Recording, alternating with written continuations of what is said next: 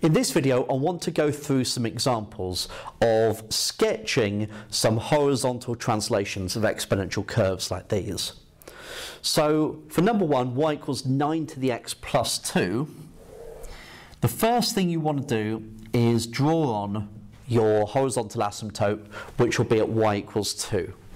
So y equals 2, and make sure you label it and then your curve will look like this. And your point of interest is where it crosses the y-axis, which is when x is 0. So we'll have 9 to the 0 plus 2, which is equal to 3. And so that is our sketch for number 1.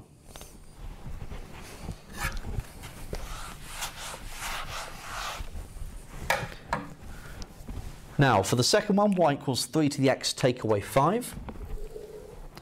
First thing you want to do is draw on your uh, horizontal asymptote, which will be at y equals minus 5. So y equals minus 5. And we'll pop on our sketch.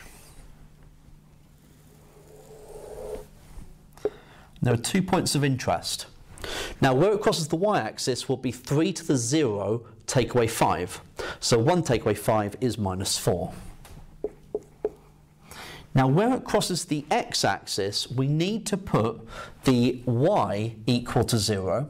So 0 is equal to 3 to the x take away 5. And we're going to add 5 to both sides. And then we need to solve this equation.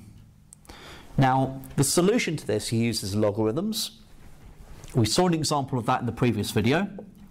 And the way that you write this is x is equal to log, and then we have the base number, which is 3. We write that just below and smaller, and that will be log base 3 of 5. And that is the exact point at which this curve crosses the x-axis. Okay? Right, let's take a look at another example. So, number three, y equals 6 to the x, take away 2. So, first things first, we draw on the horizontal asymptote, which will be at y equals minus 2. So y equals minus 2. And then we draw our curve.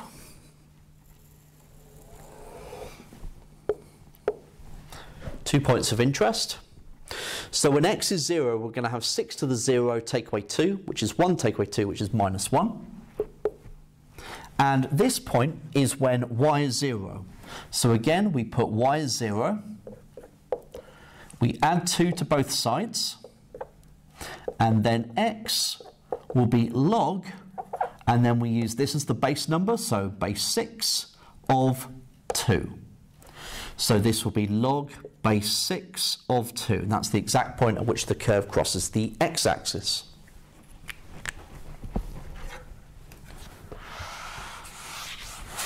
So at the moment, you'll be looking at this uh, with these logarithms, not fully understanding what they are, uh, and just seeing it as a bit of magic at this point. That is perfectly fine.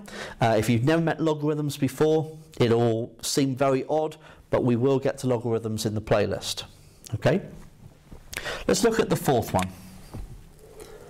Now the fourth one is a little bit more tricky. So it doesn't look like it should be. But we've got to be a little bit more careful here. So y equals 5 to the x take away 1. More careful in our sketch. First of all, we're going to draw on the horizontal asymptote, which will be at y equals minus 1. So y equals minus 1. Now before I draw on the curve, I am going to work out where it crosses the y-axis first. Now that's when x is 0. So we'll have 5 to the 0 take away 1, which is 1 take away 1, which is 0. So that means that the curve crosses through the origin. So our curve will look like this. So in this case, we don't have to worry about working out where it crosses the x-axis separately and using logarithms because it just crosses the x-axis at x equals 0. Okay? And so here have been some examples of being able to sketch um, exponential curves that have been lifted uh, vertically or brought down vertically.